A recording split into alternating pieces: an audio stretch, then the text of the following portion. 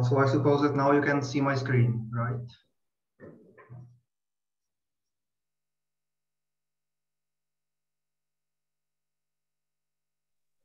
Y yes, we can. Thank you. Oh, oh, good.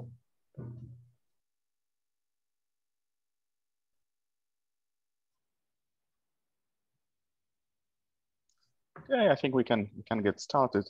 Um, so the next talk um, in this morning session is a talk by Michal Doucha, again from Prague.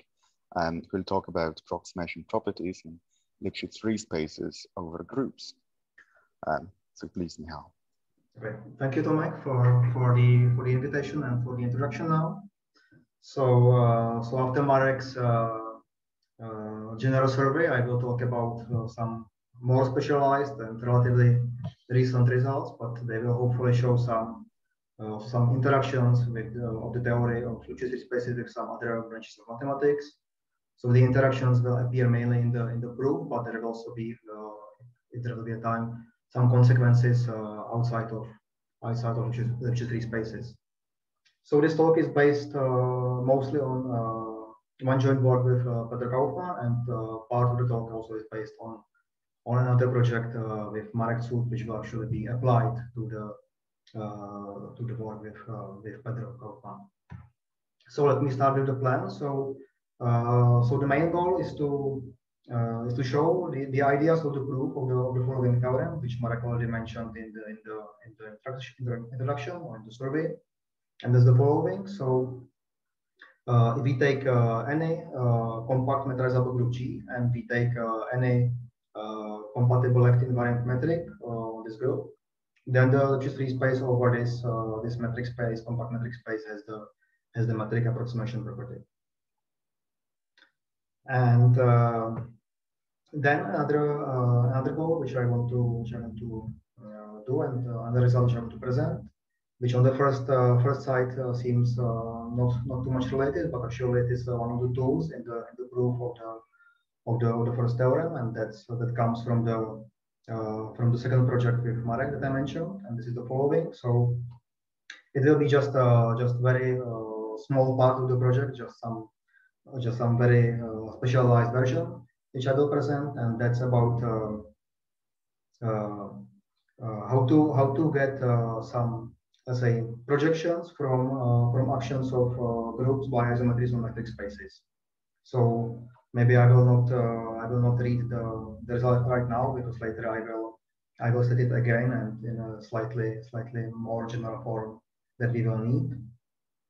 And then lastly, if, uh, if I have enough time, I will also present uh, another result from, from the paper with, uh, with Pedro Kaufmann, which is about, again, about approximation properties over of Lipschitz spaces over some groups, but this time these groups will be quite different. They will, you can actually say the like uh, almost the opposite type of groups. They will not be compact. They will be uh, finitely generated. So the, the, the, group as a space will be will be a discrete uh, discrete metric space and we will not prove something for for all, all all such groups. We will just prove something for for some relatively large but still very specialized class of groups, uh, which is somehow maybe not, not too easy to describe. I will I will try to do it later, and it includes, uh, for example, all all hyperbolic groups.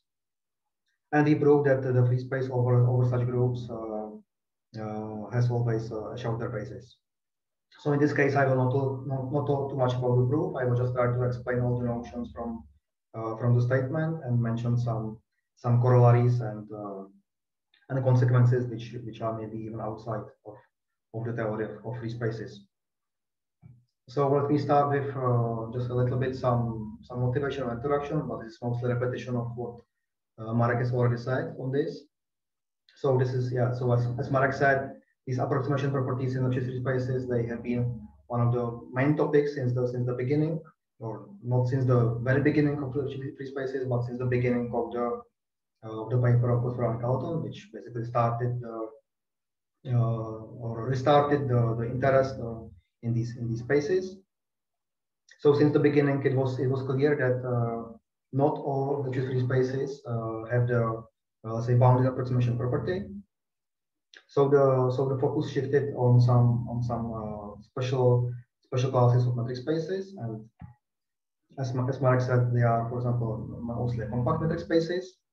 So Mark mentioned that uh, there is a relation with uh, bounded approximation property and uh, linear extension of operators, which is, I should, I should say, uh, this is something, uh, again, a subject which, which actually goes even beyond mathematics. It has applications in, in computer science.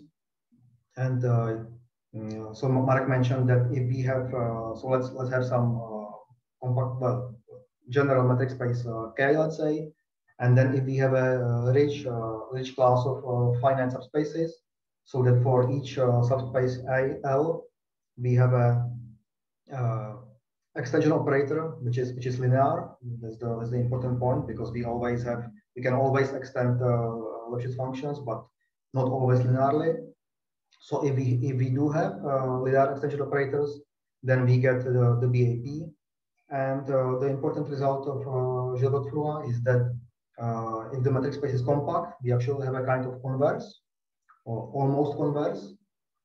So if the ideal free space has the BAP, then we have uh, some uh, linear almost extension operators. So uh, from uh, from arbitrarily dense uh, dense nets in the in the compact metric space. So these these operators are not really extensions, but uh, almost. So they, there, is, there is some there is some possible error which is which is which is controlled. And then the second class, and uh, this is again what, what Marek has already mentioned, uh, of uniform discrete spaces, and that they are important mostly because of this of this question which which Marek has already mentioned. So I will I will not I will not talk about it, um, but this somehow just justifies that that the, the choice uh, of, of groups that people with, like compact groups and uh, uniformly discrete groups, is, is, is somehow reasonable. So I will start now uh, giving the ideas of the proof of, the, of this, main theorem. So the proof consists of two parts. So in the first part, uh, we will prove uh, we will prove the result for a special subclass of compact groups. So we will prove it uh, when G is a uh, compact label. So you, I, I, I, will not explain what a group is. Actually, we, we don't we don't need it because uh, compact group is actually the, the same up to up to topological isomorphism as a as a compact uh, matrix group. So it's a you can you can always uh, you can always view a compact group as a compact subgroup of uh, of the of the group of, uh, uh, of, of matrices. And we proved that when we have such a group and it is active with any left invariant compatible metric, then the corresponding free space has the MAP. So here, here I want to emphasize that the, uh, that the metric is arbitrarily just left invariant compatible. Uh, where, where left invariant means that if you if you take a pair of point, a pair of uh, group elements and you multiply them, both of them uh, by the same element from the left, then the distance uh, does not change. And compatible just means that the, the topology uh, generated by the metric is the same as the as the original topology of the group. And uh, there are many such uh, such metrics on, on any group. So uh, I mean, people from from from Lie theory they, they are used to work uh, uh, usually with with some Riemannian Riemannian distances on on connectivity groups. But I want to emphasize that here really it is a it is an arbitrary left invariant compatible metric. And although uh, on compact groups all left invariant compatible metrics are uniformly equivalent, they are not always uh, uh, equivalent. So, so for, for the same group, you can have two uh, two different metrics which uh, which are not Lipschitz equivalent and actually they give uh, different Lipschitz free spaces. And then the second part, which is where we will apply the tools from the project with Marek, uh, that's that's where we uh, consider uh, completely general compact metric groups, and we use the facts that these groups are actually inverse limits of compact groups, and these techniques of, of projections will show that this MAP actually passes to the to this inverse limit. So we will we will apply the, the first part and this uh, technique of projections to uh, to conclude the results for uh, for uh, groups. So let me start with the with the first part. So first, just some just some introduction, some some basics about about compact groups. So the first fact that should be mentioned is that every compact group, uh, it doesn't have to be uh, Lie in general, is always equipped with a, uh, with a unique Borel probability measure, uh, which is, uh, and the, is the most important property, which is, which is invariant. So if you take any Borel subset A of the, of the group and you take uh, two elements, the G and H, then the measure of, of, this, of this subset A is the same as the measure of the subset where, which we uh, multiply from the left by g and uh, from, from the right by h. So this is this measure is what is called the, the Haar measure, and uh, and it is unique, provided that we we normalize it. so we make we make it pro probability, then it is then it is unique. And then another thing is that uh, then using this uh, this unique measure, we can define uh, convolutional functions. So if we have two uh, let's say L1 functions from on G, where, where the measures of, of course this this Haar measure. Then we can define the, the convolution of these two functions by by this this formula. So if you are if you are familiar with uh, with convolution of, uh, of real functions, this is this is exactly the same. Just the just the addition of, of the reals is replaced by this uh, by this general uh, general uh, group multiplication. And then also the point to make to make is that uh, then the convolution is, is also in in L1, and we we will usually actually work with uh, with uh, with better functions. So if the if these functions are, for example, continuous, then the, the convolution is again continuous. And even better, if the if the functions are Lipschitz, then actually the, the functions will be the convolution will be will be also Lipschitz. And then uh, another important thing uh, which will be needed in the, in the proof is the, is the notion of unitary representation. So unitary representation of, of the group, this is, this is a way how to how to represent the group as a, as a group of uh, unitary operators on some on some Hilbert space. Or in other words, it is uh, it is an action of G on some Hilbert space by linear isometries, or in other words, by, by unitary operators. Or again, in other words, it is a, uh, oh, I should, I should say continuous action, of course, continuous action of, of G. Or in other words, it is a, it is a group homomorphism from G uh, to a unitary group of, of, of, some of some Hilbert space in general with, uh, with, the, with the strong operator topology. And then uh, this unitary representation is called irreducible if the only invariant subspaces of, of this action are just the, the trivial subspace, just the, the, zero, and the whole Hilbert space. And it is an important consequence of, of the, the famous uh, Peter Weyl theorem that irreducible interrepresentations of compact groups are always uh, finite dimensional. So, uh, so this first point is just a repetition of, of, of, uh, of, this definition of interrepresentation. And the second point is, uh, is the following. So let's, uh, let's now have some irreducible unitary representation, which is by the previous point finite dimensional. So we can, in this uh, finite dimensional Hilbert space, we can we can fix some uh, finite orthonormal basis, uh, psi1 up to up to psi n, and then for every pair ij less than n, they they can be equal.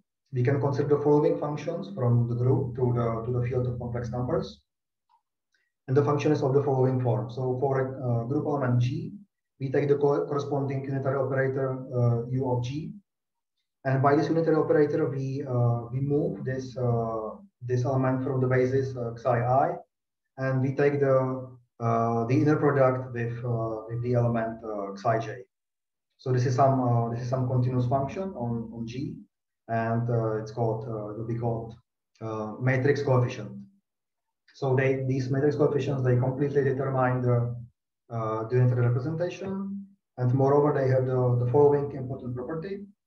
So if we take any continuous function on, on G, continuous function psi, and we take some, some matrix coefficient and we take uh, their convolution, so it will be some continuous function, but the, the very important point is that this continuous function will lie in the, in the span of these uh, matrix coefficients which uh, there are just finitely many of them because the, the Hilbert space is uh, finite dimensional. So uh, so the so the, the convolution will lie in a in a uh, finite dimensional space. And now uh, I will just recall from Marek's talk what, what this BAP is. So I will actually uh, I will actually use uh, two different formulations which were which were not used by by uh, by Marek, but they are they are equivalent. So one of them is quite standard. So one definition is that Banach space X has lambda BAP for every finite subset F of the Banach space X and every epsilon. There is a finite rank operator so the, the range of, of T is a finite dimensional subspace uh, whose norm is bounded by lambda, and uh, and uh, uh here, here, should be uh, x should be from this finite subset F. So uh, T of x is of distance less than epsilon from x. So you can basically you can translate this definition into into saying that that there is a net of finite rank operators which uh, converge to the identity in the, in the strong operator topology. And all these operators are, uh, are uniformly bounded in the norm. And uh, another equivalent definition is, uh, is the same as the consequence of the first one, just with the exception that uh, actually you can uh, you can consider just a net of finite rank, operate, finite operators which converge to the identity in the weak operator topology. So this is still this is still equivalent. And I will use these two, uh, these two formulations uh, in, in, the, in the proof. So now uh, this is some proposition that I will I will not I will not prove, but that that we used in the in the main proof. And this is a characterization of of BAP for Lipschitz free spaces over compact metric spaces. And it is the following. So, so K is now uh, compact metric space, not necessarily a group. And uh, f of k has the lambda BAP. If there is a net of uh, bounded operators on C of k, so the, the operators are defined uh, not on Lipschitz functions, but they are defined on just on all continuous functions of k. They are of finite rank. They map Lipschitz functions to, to Lipschitz functions. So actually then later we will need that they map uh, Lip zero functions, so Lipschitz functions uh, which uh, which vanish in at, at zero. So the, the, the, the function from the dual of free space uh, that they map Lip zero functions to Lip zero functions, but I, I, I don't state it here in this proposition, but because this is uh, uh, it, it is not automatic, but somehow whenever you have uh, operators like this, you can uh, somehow modify them to to uh, to, to achieve this so that they you can you can you can make them better to to map Lip zero functions to Lip zero functions. Then we need that they don't increase the, the Lipschitz constant of, of Lipschitz functions too much. So exactly we, we wanted to, we want them to increase it at most by, by lambda plus, plus some epsilon. So just, just notice that we, we wanted these operators to be to be bounded, but uh, on, on, on C of k. And uh, so this, this norm here is is uh, quite different and in general not, not so much related to to the Lipschitz norm. And finally, we want that uh, this uh, this net uh, T alpha uh, f converges pointwise to, to f for every for every uh, Lipschitz function uh, Lipschitz function f. And and we prove that if, if we have if we have such one operators, then we can obtain we can obtain a net of of uh, finite rank operators on the free space, which which converge to the identity in the in the weak operator topology. So we get the the, the BAP. And we will apply apply this proposition to to, to our main theorem. Uh, and uh, one more one more uh, one more fact that I that I need, which is very important, and this is actually the, the only point where we use the uh, the the properties of the metric on the group, especially that the that the metric is left invariant. And this is the following. So uh, so let's have two functions. One is uh, just from just uh, L1 function. Phi is just L1 function of G. And the other one, uh, other one psi is a Lipschitz function. And then, uh, then the point is that their convolution is, actually Lipschitz. And moreover, the Lipschitz constant of, of this convolution is, uh, is bounded by, by the Lipschitz constant of psi and the L1 norm of, of phi. And now we are uh, we are almost ready to, to prove the theorem. So we just need uh, one uh, proposition I, I, I, mentioned here from, from harmonical analysis, just to emphasize that this is not this is not something that we prove. This is something very classical. Uh, and that's, uh, that's the following. So if uh, G is a compact matrix group or compact, compact Lie group with some uh, measure mu, then there is a sequence Rn of positive real functions on, on G with the following properties. So first of all, every Rn is in the span of uh, this matrix coefficients for some irreducible unit representation U. Second, if we take uh, any continuous function uh, psi on G, then the convolution, the, the sequence of, of convolutions uh, converges pointwise to, to the original function psi. And lastly, that the, the integral of each Rn is, uh, is, is one. And then we just do the following. We define uh, operator on, on C of G to C of G uh, in the following way. We take a continuous function psi, and we just take the, the convolution with, with this with this Rn. And now we just want to show that uh, these these functions, these operators Tn, they satisfy uh, the the conditions from from this proposition, and then we can conclude that that uh, f of uh, g is uh, has has uh, MAP, so which is the same as uh, one one BAP. So first, we need to check that these TNs now are bounded operators on, on C of k, but that's clear because uh, these they are just convolutions uh, uh, with continuous functions. So so they they map continuous functions to continuous functions, and it is easy to check that also that they are bounded. Now we need to check that they are finite rank, but this is true, and this follows from this uh, important property uh, that I mentioned here.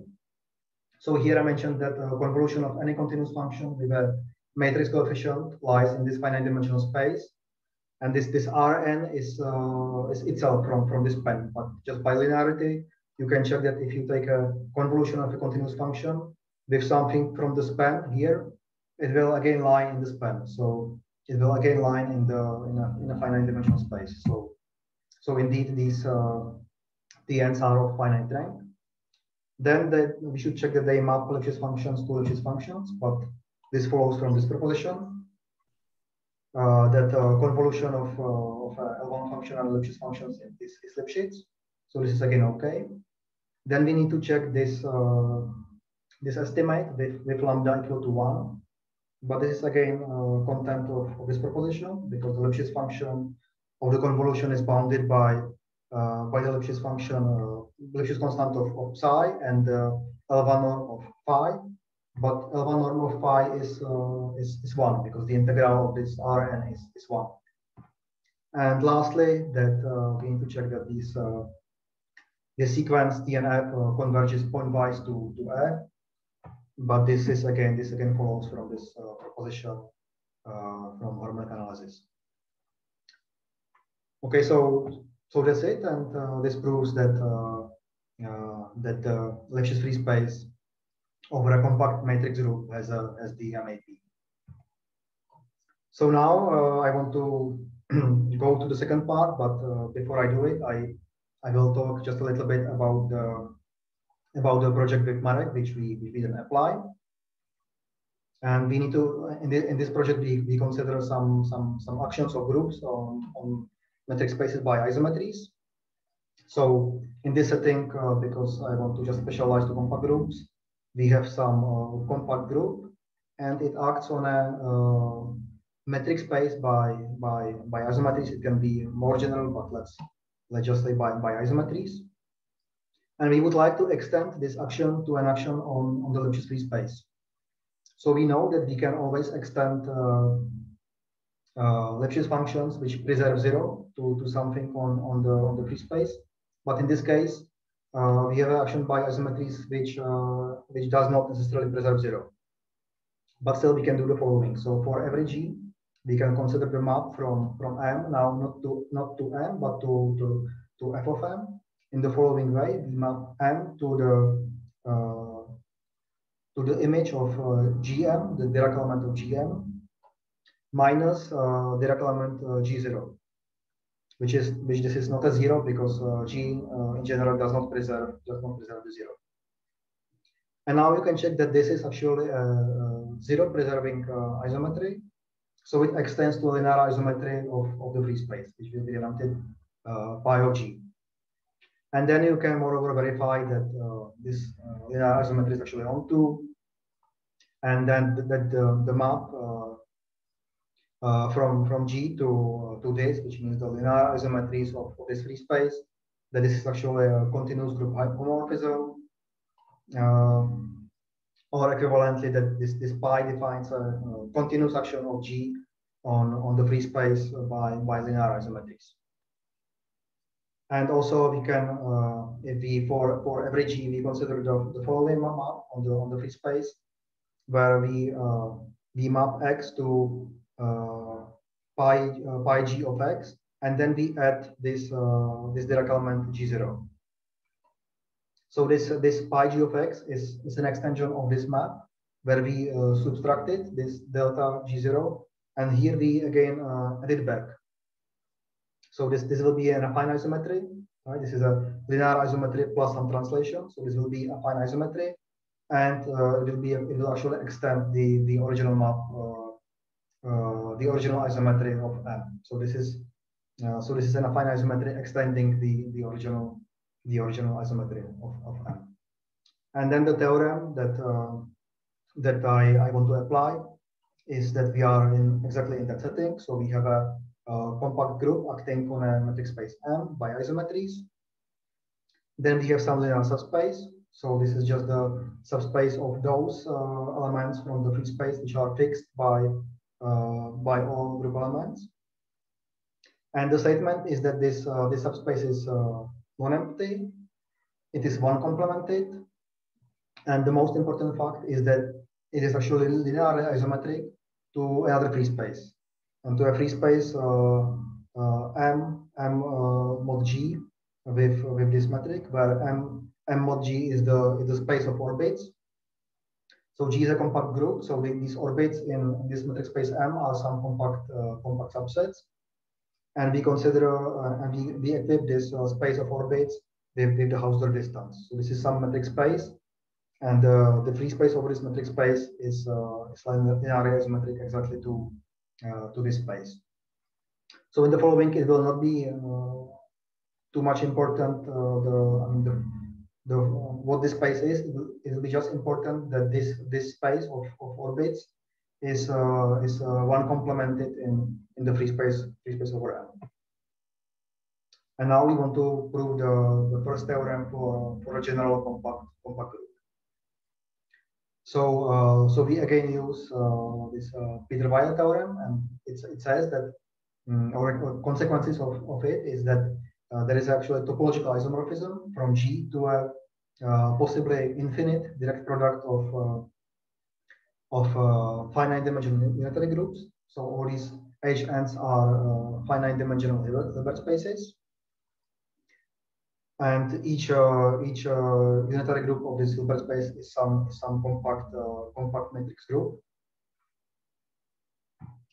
So now, so now, we, without also generality, we can assume that applying this isomorphism, that G is actually a closed subgroup of, a, of this direct product. So G is a closed subgroup of a direct product of possibly infinitely many uh, infinitely many finite dimensional unitary groups. And then for each n, we can just uh, consider the projection. So the projection onto the first n coordinates. And we denote by g and uh, the, the image of this projection. So this, this gn is some, is some uh, quotient of, of g. And we define, so, so on g, there was some, some left invariant metric d, and we define now a left invariant metric dn on the on this uh, on this quotient gn.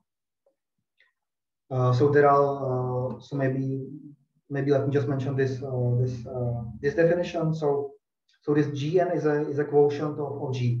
So there is some uh, there is some closed number subgroup hn. So that gn is equal to g mod hn. And then so then gn you can view gn as a as a as a metric space as a set of left cosets of this of this hn.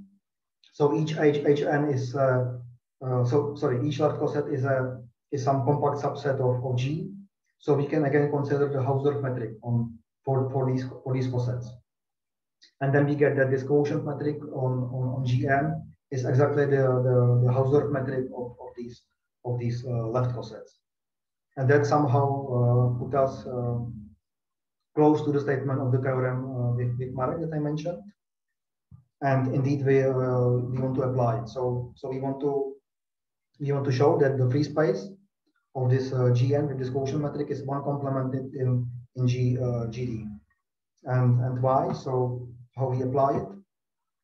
So in this theorem now, this metric space M will be actually the, the, the whole group G uh, from, from, the, from the next consideration. And this, this, this G here will be just this normal subgroup Hn. And this uh, Hn will act on G just by, by multiplication from the left, which is by isometries because the metric is left invariant. And then we get that uh, uh this uh, f of g, f of m, which is equal to f of g, will have uh, one complemented subspace linearly isometric to M mod G, which now is uh, G mod HN, which is actually exactly this GN. And with this Hausdorff metric, which as I said, is this, uh, this quotient metric DN. So we get that indeed this uh, free space over GN uh, with DN is one complemented in, in, uh, in F of, uh, F of G. And this is witnessed by some uh, norm one projection PN. Uh, so I have I have uh, just just one minute, so I will, I will try to finish. So and then the, the important fact is that these these projections PM actually so so this can be this can be this can be reformulated as that these these projections they uh, converge to the identity in the in the strong comparative topology and we know that each uh, is a uh, compact subgroup of uh, finitely many compact matrix group, right? Because it's a compact subgroup of direct product of just finitely many unitary groups. So it is itself a compact matrix group. So by the first part, we get that it has the MAP. And now we check that uh, the free space over the whole G has, has the MAP. So we just pick some uh, finite subset F and some epsilon. By the proposition above, which I mean that these uh, these projections uh, converge in the strong comparative topology to the identity, we can find some n so that for every x from f, Pn of x is uh, of distance less than epsilon half from, from x. And then we use that uh, this free space over Gn has the MAP.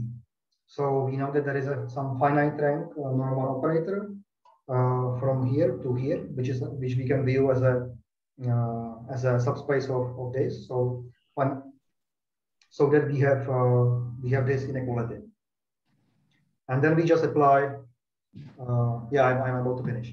And then we just apply the the triangle inequality of these of these two, two inequalities, and we get that the distance of this is, is less than epsilon. So we can just take as the, as the desired finite, uh, finite normal operator decomposition of the projection with the finite rank comparator defined on this FG and then we get that. Uh, this concludes that, uh, that the free space of, of G has the has the MAP. So I, I will I will finish I will finish here. Okay, many thanks for for this wonderful talk. Um, do we have any questions from the audience?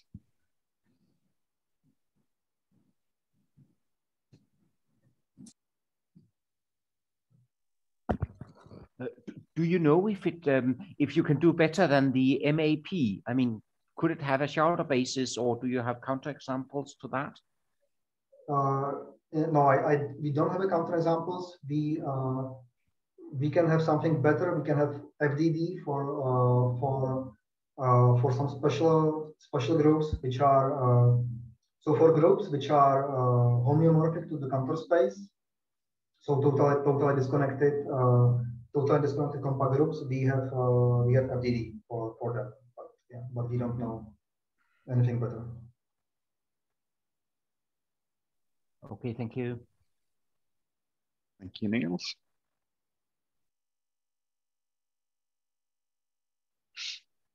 Any other questions? Um, well, if not, let us um, thank Michal for this for this great talk. Thank you. Um, and we have uh, we have a little bit of time, I think. Let me check um, schedule.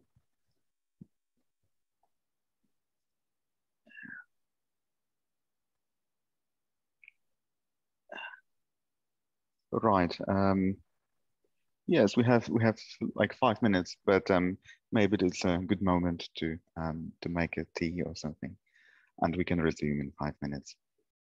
So let me stop recording.